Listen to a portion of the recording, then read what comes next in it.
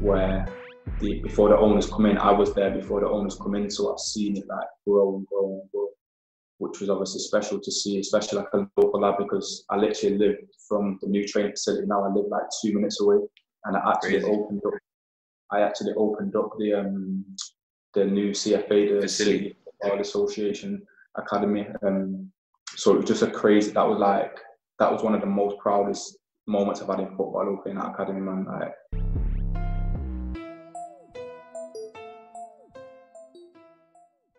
So quite quite similar, which was um, a couple years ago now. Um, you were at uh, Man City. Um, you know, it's, it's from your city. You know, Manchester. Uh, I, I don't know if you supported them or not, but I don't think you did. Uh, yeah, I don't think you did. But um, yeah, uh, tra- transitioning. Um, yeah, you were at Man City for pretty much your whole life as well. So um, obviously, firstly, just take me through that transition in terms of uh, how it's been coming out of a different environment, and then take me through how it uh, all started. Um, so all started like playing on the local playing fields, like you did yourself and all, all the young footballers do. Um, and then I got my my coach at my local team was a scout for Man City locally, and then I got scouted and then obviously signed at 11. And then um, I carried on to be at City till I was 20, 21. Um, and then obviously that's when the time come to kind of part ways. It was I had a good time there, like bro, some of the moments that I got to like witness traveling the country, playing in tournaments, playing against players like yourself, and playing for my country. Like I'll never be, I'll always be grateful for the opportunity that they gave me, man. Like it was special, obviously, and at a time where City kind of went from that stage where the before the owners come in, I was there before the owners come in, so I've seen it like grow and grow and grow which was obviously special to see, especially like a local lad because I literally lived from the new training facility now. I live like two minutes away, and I actually Crazy. opened up.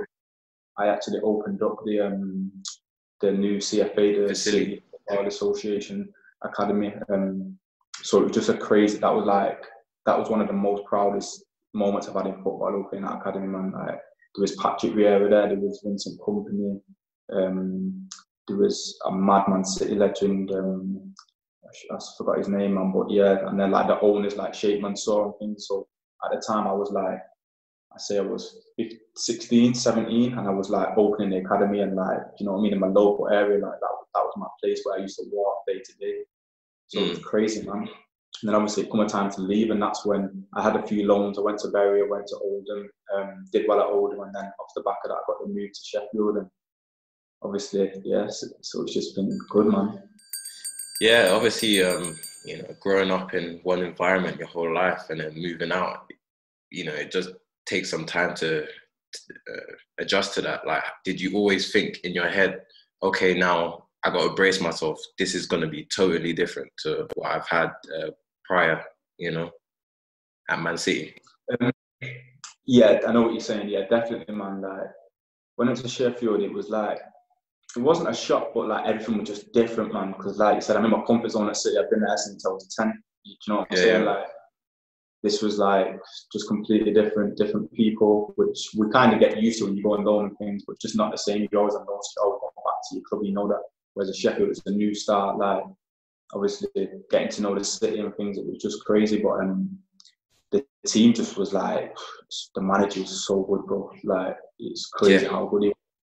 Obviously, I just struggled. I had um had an injury the first season I went, and that just kind of took a like a toll on the season really because I just didn't get going. And then the, I had a good pre-season. Um, I was meant to go on loan at the start of the pre-season. Then he said no, I want you to stay. So I was like buzzing, thinking we're in the prem, we're in the Premier League this moment. to get promoted. So I was buzzing and played all the pre-season games, and then they just got off to a good start, man. And like Yeah, obviously Mm. football is what it is kind of thing. Like sometimes you get an injury or sometimes just Mm. luck happens. You have to be fortunate, man.